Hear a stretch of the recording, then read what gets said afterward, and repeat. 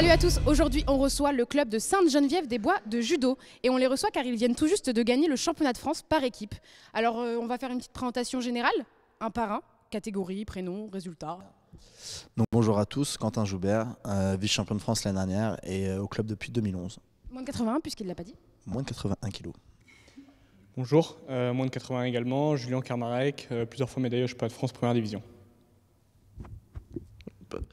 Bonjour, Antoine Lamour, moins de 90 kilos. Pas encore médaillé euh, individuel, euh, mais déjà bah, double champion de France euh, cette année, première division par équipe.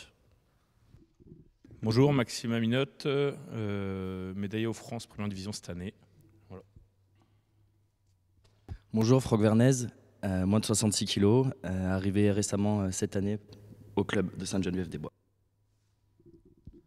Bonjour, Julien Larocca, donc euh, plusieurs fois cinquième euh, championnat de France première division et moins de 73 kilos. Bonjour, c'est Eric Olivard, euh, catégorie moins de 100 et médaillé au championnat de France première division cette année. Bonjour, David Larose, double vainqueur du tournoi de Paris, médaillé plusieurs fois au championnat de France et euh, double vainqueur euh, des championnats de France par équipe avec Saint-Jean. Très bien, c'est un sacré palmarès.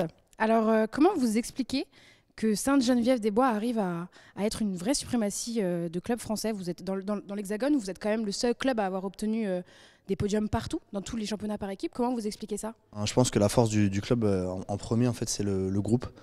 Quand je dis le groupe, c'est pas forcément un groupe senior, adulte, mais en fait aussi enfants et adolescents et, surtout la, formation. Donc on est un des, des seuls clubs, je dirais, à ce niveau qui, qui euh, se donne vraiment à fond sur, euh, sur euh, l'apprentissage des enfants, des adolescents, etc.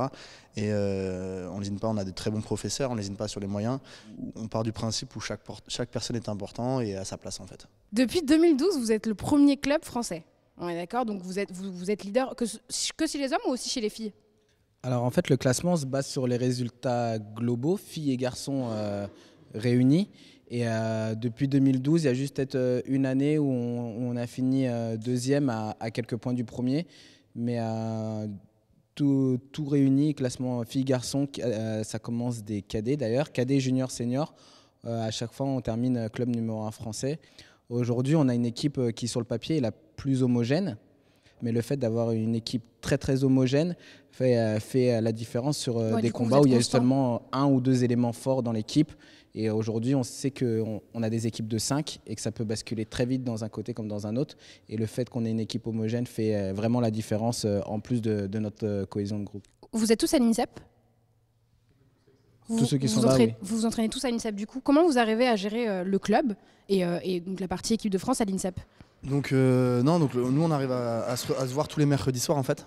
Donc le mercredi soir, on sait que c'est dédié au club. Au moins si on fait pas judo là-bas, on peut faire euh, voilà une récupération, euh, musculation, etc. Donc on sait que de toute façon les, les- nous les copains, on, on se voit le mercredi soir. Donc après il y a toutes les, les journées où on, se voit, on se voit pas, les soirées, etc.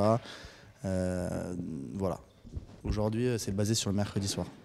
Co- comment ça se déroule une, une compétition de judo euh, par équipe exactement? Ah, D'abord, y, il y a le tirage de la veille, la pesée la veille, et donc le jour J, euh, voilà, il y a, d'abord, ça se passe sous forme de poule.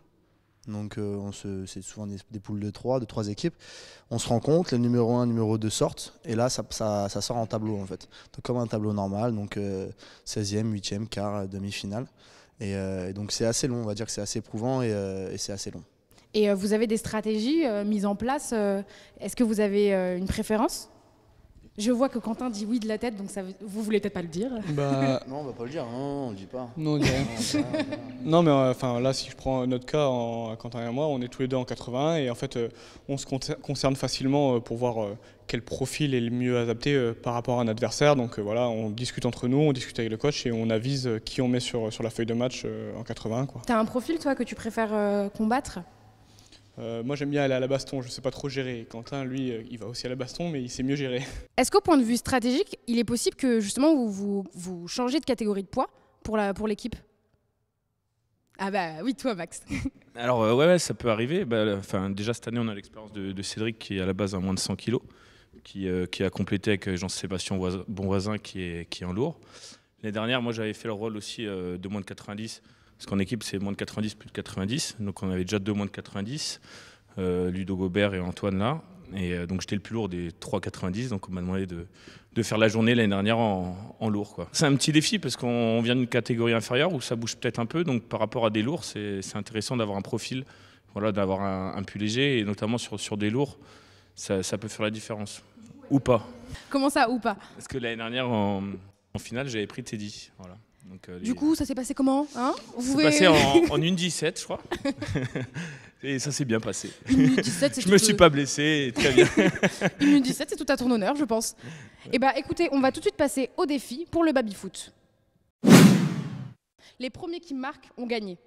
Il n'y a pas de y a pas de règle, il n'y a pas de limite. Golden score, direct. Ok, c'est parti. Pas de règle. Let's go. Le premier qui marque a gagné. Oh là, ça se... ah, on se- Oh Ça s'est fait très rapidement. Ça s'est fait très très très rapidement.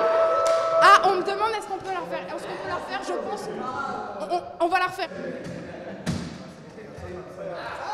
Euh, ne nous cassez pas notre baby-foot, s'il vous plaît. Ouh là là là Oh là là là là, mais ils se font battre constamment.